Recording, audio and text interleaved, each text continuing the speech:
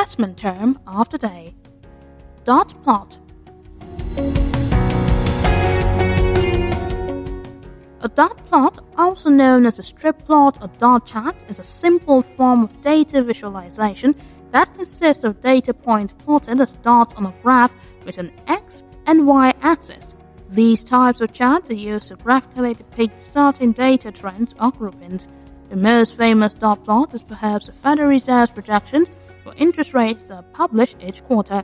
A dot plot is similar to a histogram in that it displays the number of data points that fall into each category of value on the axis, thus showing the distribution of a set of data. A dot plot visually groups the number of data points in a data set based on the value of each point. Dot plots allow a quick visual analysis of the data to detect the central tendency, dispersion, skewness, and modality of the data. Dot plots are typically arranged with one axis showing the range of values of categories along which the data points are grouped and a second axis showing the number of data points in each group.